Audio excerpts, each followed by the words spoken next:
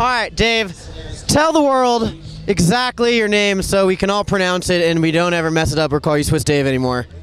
David Habluetzel or Habluetzel, like Swiss or American style. So you just got third place in the U.S. Open. How you feel? There's no feeling like no, there's feeling but too much. Like they're still coming. How many U.S. Opens have you been in? That is my second U.S. Open.